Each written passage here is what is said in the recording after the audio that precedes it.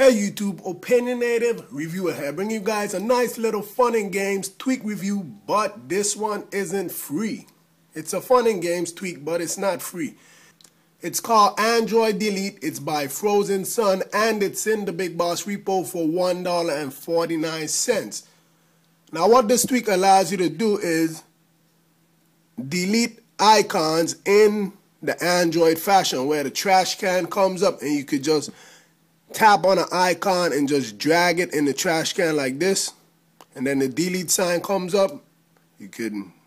I'm gonna just remove that. So yeah that's basically what this tweak allows you to do if you want to access your your dock while you're in this mode you just tap the trash can and then the dock comes back up. So yeah it's a nice pretty cool tweak but I think 149 is too expensive and that's just my opinion. So yeah nothing was added to your springboard. It just affects your springboard. You go in the settings and you scroll on until you see Android delete right here and you can enable it or disable it which is always a plus. You can change the animation speed and that's gonna affect how fast the dock moves up and down. So you see that. As you can see it moves up and down it moves down slowly because I have the settings all the way up. So that's what that settings is for.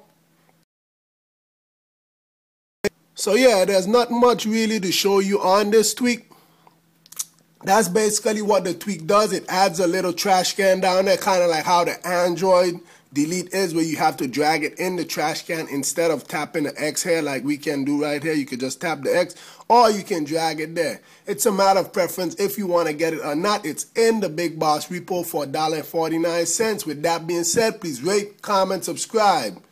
Have a nice day.